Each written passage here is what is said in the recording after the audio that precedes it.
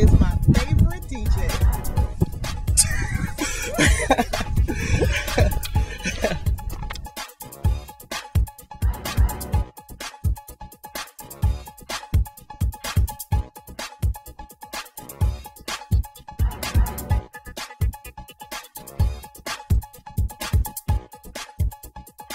Here.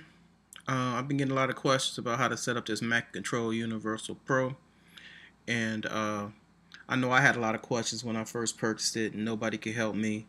But uh, through trial and error, I was able to figure out a lot of things. I'm still not an expert, um, but I really um, have been using these guys, and uh, for for what they're worth. But anyway, all right what the questions I've been at, getting asked is how to set up the uh, the Mackie control and the extenders that come with it because I have two extenders and I have you know the main unit of course. Uh, what you need to do first is you need to get in Cubase. Okay, this is Cubase 7. I'm on my Mac.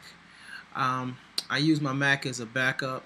My, my main computer is a PC down in the basement, but um, in order to do this video, I have to do it on this Mac because of course Apple gives you all these sweet applications to do this type of stuff alright anyway you select devices go down device setup.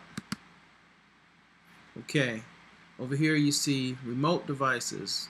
Already I have Mackie control Mackie control 2 and Mackie control 3 I'll show you how to do that. Okay.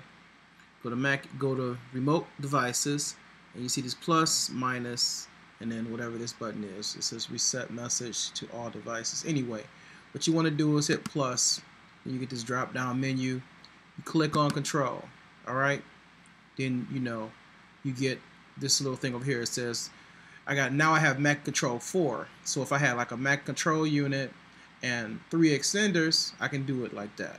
Okay Mackie control 2 3 and 4 so what you need to do over here which is very important you need to go to your drop down menu and whatever you physically have your Mackie control units plugged up to um, you need to select those uh, inputs and outputs. So your MIDI input would be uh, say if you had it going to like I have a Midiman and it has 8 ins and 8 outs. Say I have like my Mackie control extender going to uh, 8 and 8 in out okay of my Mackie uh, of my MIDI controller.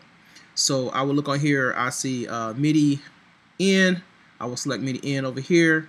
Then on the output I will select MIDI out okay? Simple as that. Bam. That's ready to go so the same thing will be here. This will be going to say 7 6 and maybe 5 if I was using you know those in order like that. I like MIDI because MIDI brings those units right up and you don't have any errors. I don't like using USB anymore with that and I know you can daisy chain them through each other and all that. I did that for a long time. But when I upgraded to Cubase 6 they didn't like that setup. So now that I'm on 7 um, I definitely use MIDI. And it's like it's instant recall. I mean you know the units work perfectly with MIDI. So I like it better that way instead of the USB okay so that's just my preference. So here I'm going to delete this. Um, again I'm DJ Dev. I hope that helped you out. Uh, enjoy. If you got any questions you know uh, subscribe to my page and enjoy